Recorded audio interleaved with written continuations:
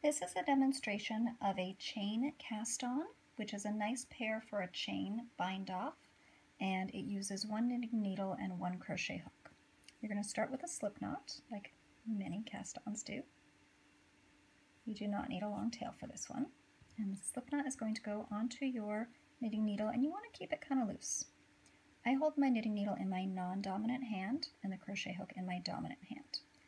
So I like to hold the yarn in my non-dominant hand as well because that's how I normally crochet. I'll switch and show you with the yarn in the other hand in a few minutes. So I'm going to put my hook into my loop and end up with an X shape with a hook in front. The hook's going to go to the left of and then behind the yarn and draw a loop through. Then I need to move my yarn to the back and we repeat. Don't worry if these are starting to twist around the needle, they'll get better in a second.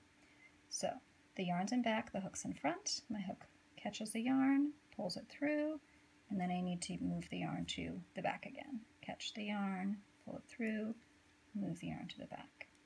So basically what we're doing here is we are crocheting a chain. So if you're a crocheter already, this should feel pretty familiar, but we're crocheting a chain around our knitting needle.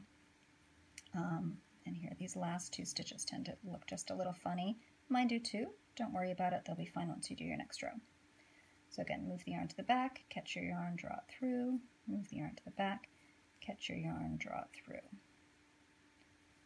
And then whenever you have enough stitches, including the loop that is on your hook, then you're going to take the loop on your hook and put it onto your knitting needle like so. And then you are ready to put your hook away, and start knitting or purling your next row.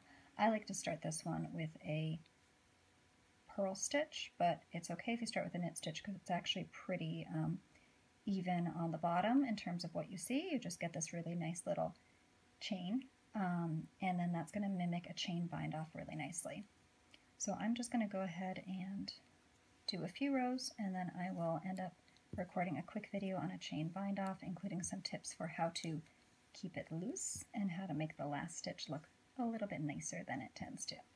So go ahead and find that video and you can see the finishing.